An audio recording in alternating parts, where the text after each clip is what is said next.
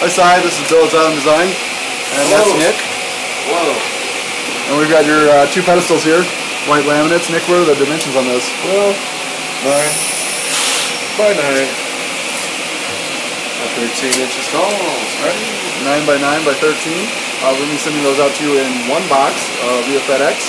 And uh, you'll be getting those to your Washington, D.C. address. Uh, when you get them, there are little rubber feet that are taped on the inside. Uh, if you would like to add little rubber feet, you can. Or if you want, you can just keep it without. Uh, it kind of depends on how you want to um, how you want your pedestals. Uh, so you can stick those on if you want. And when you get them, if you want to send us a photo or video of what you're putting on top of it, uh, we would love to see that. Um, yeah. Thank you for business. Thank you.